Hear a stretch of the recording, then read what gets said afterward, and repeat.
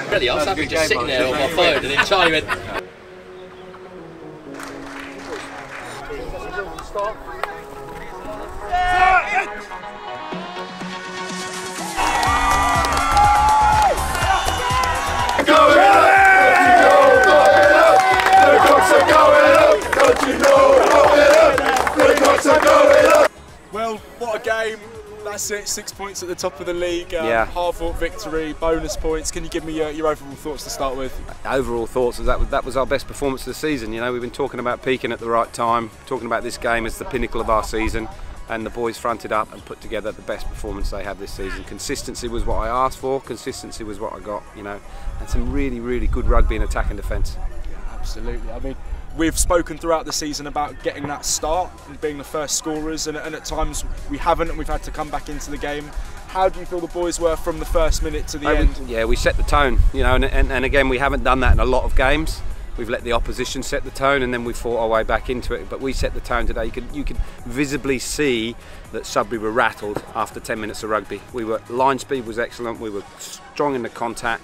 You know, we, we were attacking wide well. We dis- disrupted their D so many times, and they scrambled. To their credit, they scrambled really well. I mean, we could have been a lot more up at half time, I think. So, um, but yeah, that's that's how we wanted to play, and that's how we played. So I, I couldn't be happier.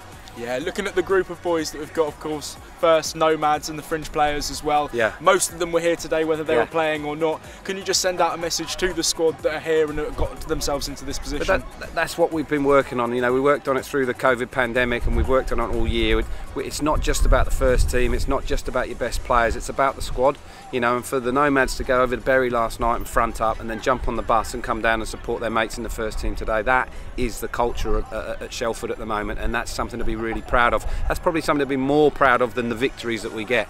Okay, is the fact that we've got all these guys like a brotherhood, all right, loving their rugby, but loving spending time with each other. That's brilliant. Yeah, and the fans as well. I, it, it felt like it was a home game at points with the amount of noise that our fans were making. Can you just uh, give a couple of words to the fans that made it down as yeah, well? yeah, look, they're, they're an extension of the squad. You know, they're an extension of what we do, and, and we, we've had such a great year because they've been behind us all the way, cheering us on. Just means so much, and you know, I say it again and again after home games, this, that, and the other, and we do a round of applause, but it means so much to all of us to have that group of, of supporters behind us family, friends, you know, loved ones, all that kind of stuff, and they're there cheering us on. And to come down here and, and be the noisiest group down here today was just the uh, cherry on the cake for me. It was excellent. Yeah, thank you, Peacock family. Thank you, Will. Love the Go Peacock family. celebrate. mate. Thanks, mate.